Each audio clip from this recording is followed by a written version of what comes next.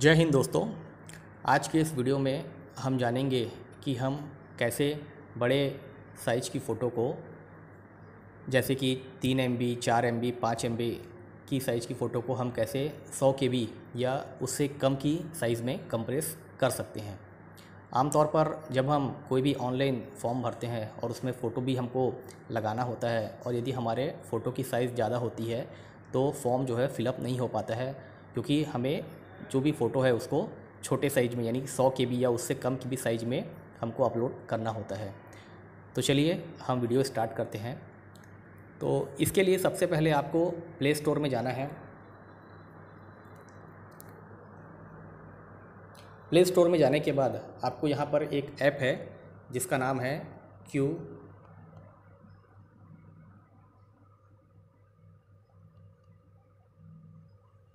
Q reduce lite इस app को आपको इंस्टॉल करना है।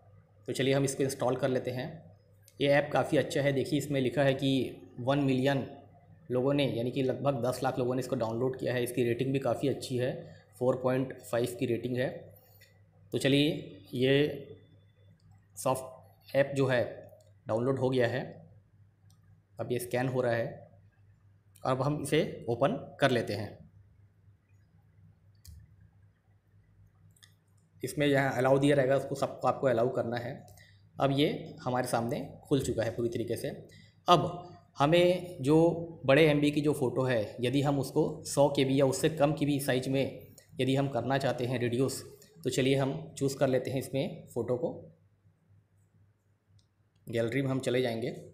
और गैलरी में जाने के बाद, जैसे मैंने एक फ़ोटो चूज़ कर ली है, आप देख सकते हैं कि ये फ़ोटो की जो फ़ाइल साइज़ है, ये देखिए आप four six two three K B यानी लगभग ये साढ़े चार एम बी के ऊपर की फ़ाइल है। और यदि मैं इसको चाहता हूँ कि इसको मैं नाइन्टी के बी में कन्वर्ट कर लूँ तो बस कुछ नहीं करना है आपको।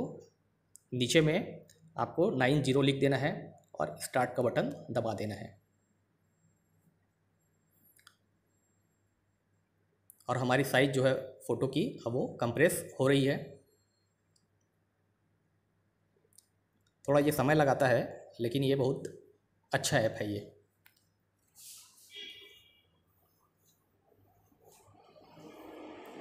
और आप देखेंगे कि आपकी जो फ़ाइल की, ये जो साइज़ है, ये कंप्रेस हो गई है, और ये जो फ़ाइल है, आपके एक नए फोल्डर में बन जाती है, यानी कि आपको वापस जो है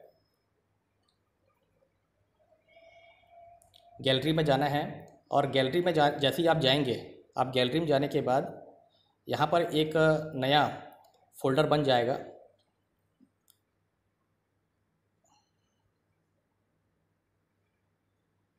ये देखिए क्यू रिड्यूस लाइट नाम के ऐप से एक फ़ोल्डर बन गया है और आप इसमें देखेंगे और यदि आप इसको खोलते हैं डिटेल्स में तो आप देखेंगे कि जो साइज़ है इसकी देखिए ninety one point zero five K B इसकी साइज़ हो गई है।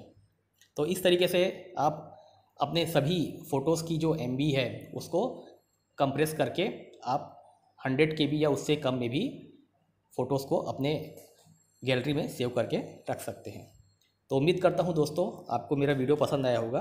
धन्यवाद, जय हिंद।